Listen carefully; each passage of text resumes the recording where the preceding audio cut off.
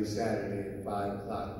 They have a boat ride where it goes half, half an hour down the Nile, half an hour up. And that was just one of the most amazing things I've ever done. You know, I mean, the lines, everything. If I, I can only do anything, I encourage you to go to another country, reach out, experience, feel, feel with Jimmy K, feel with Bob Barrett, filled with all our predecessors felt. My sponsor, 1968, he got clean.